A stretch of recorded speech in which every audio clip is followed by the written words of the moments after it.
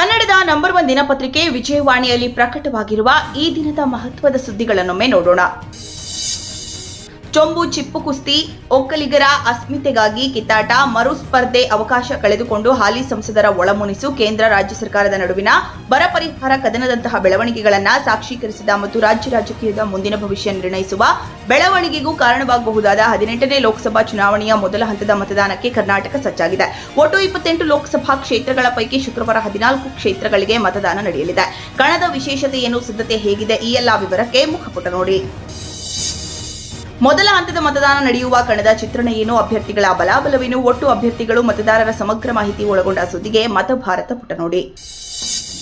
ಲೋಕಸಭೆ ಚುನಾವಣೆ ಮತದಾನದ ವೇಳೆ ಸರಿಯಾಗಿ ರಾಜ್ಯದ ಗ್ಯಾರಂಟಿ ಫಲಾನುಭವಿಗಳಿಗೆ ಹಿಂಬಾಕಿ ಚುಕ್ತ ಆಗಲಿದೆ ಎಂಬ ಚರ್ಚೆ ನಿಜವಾಗಿದೆ. ರಾಜಕೀಯ ಮಾತಿನಂತೆ ಗೃಹಲಕ್ಷ್ಮಿ ಯೋಜನೆಯ ಫಲಾನುಭವಿಗಳಿಗೆ ಎರಡು ದಿನಗಳ ಅಂತರದಲ್ಲಿ ಎರಡು ಕಂತುಗಳು ಹಣ ಜಮಾಗೊಂಡಿದೆ.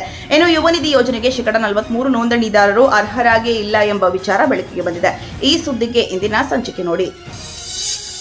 ಲೋಕಸಭೆ ಚುನಾವಣೆ ಹೊತ್ತಲ್ಲೇ ರಾಜ್ಯ ಸರ್ಕಾರಕ್ಕೆ ಮೀಸಲಾತಿ ಟೆನ್ಷನ್ ಹೆಗಲೇರಿದೆ. ಮೀಸಲಾತಿ ಉದ್ದೇಶಕ್ಕಾಗಿ ಇಡೀ ಮುಸ್ಲಿಂ ಸಮುದಾಯವನ್ನ ಸರಾಸಗಟವಾಗಿ ಹಿಂದುಳಿದ ಜಾತಿ ಎಂದು ವರ್ಗೀಕರಿಸಿರುವ ಕರ್ನಾಟಕ ಸರ್ಕಾರಕ್ಕೆ ರಾಷ್ಟ್ರೀಯ ಹಿಂದುಳಿದ ವರ್ಗಗಳ ಆಯೋಗ ಚಾಟಿ ಬೀಸಿದೆ. ಈ ಕುರಿತ ಸುದ್ದಿಗೆ ಸಂಚಿಕೆ ಪುಟ ಓದಿ.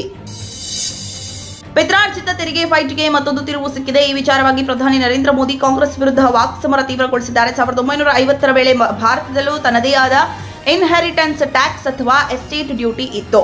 ಆದರೆ ಅದನ್ನ ತನ್ನ ತಾಯಿ ಇಂದಿರಾ ಗಾಂಧಿ ಆಸ್ತಿ ಉಳಿಸುವ ಉದ್ದೇಶದಿಂದ ಮಾಜಿ ಪ್ರಧಾನಿ ರಾಜೀವ್ ಗಾಂಧಿ ಬಳಿಕ ರದ್ದುಗೊಳಿಸಿದ್ದಾರೆಂದು ನಮೋ ಹೇಳಿದ್ದಾರೆ. ಈ ಸುದ್ದಿ ದೇಶ ವಿದೇಶ ಪುಟದಲ್ಲಿದೆ.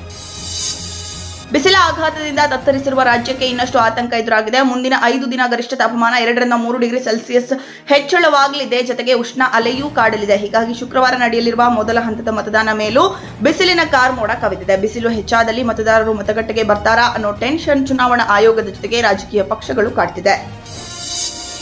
ಲೋಕಸಭೆ ಚುನಾವಣೆಯ ಮತದಾನಕ್ಕೆ ಸ್ಯಾಂಡಲ್ವುಡ್ ನಟಿಯರು ಸಜ್ಜಾಗಿದ್ದಾರೆ. ನಟಿಯರಾದ ಅಮೃತ, ಪ್ರೇಮ್, ಸಪ್ತಮಿಗೌಡ ಆಶಿಕಾ ರಂಗನಾಥ್ ಮತದಾನದ ಅಗತ್ಯತೆ ಕುರಿತು ವಿಜಯವಾಣಿ ಜೊತೆ ಮಾತನಾಡಿದ್ದಾರೆ. ಈ ಸುದ್ದಿಗೆ ಉಲ್ಲಾಸಕ್ತ ನೋಡಿ.